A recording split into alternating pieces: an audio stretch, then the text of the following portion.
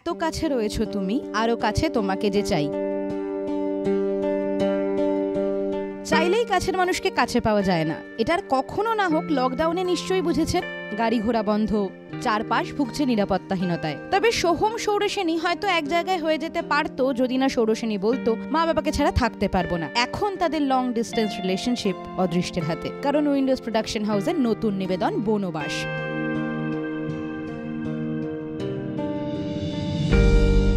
যেখানে নিখাত ভালোবেসেও কোভিড নাইন্টিনের দৌড়াতে তাদের মধ্যে দূরত্ব অনেক। অনলাইন লুডো খেলতে খেলতে নিজেদের প্রেমের নস্টালজিয়াতে ভেসে কখন যে তারা রিয়েলাইজ করল, তারা লাস্ট একে অন্যের হাত ধরেছে বহু মাস হলো। এখন রাতেও পাখির ডাক শোনা যায় আর তারই সাথে সৌরসেনী প্রমিস করল লকডাউন উঠলে সে সোহমের সাথে চলে যাবে। ওদেরও তার মানে প্রেজেন্স অ্যান্ড অ্যাবসেন্স ছিল বলো? আমাদের মতো। তবে শেষ হয়েও হইল না শেষ। থেকে গেল প্রশ্ন, আসবে কি তারা আবার কাছে? তা থেকে গেল ধন্দেই।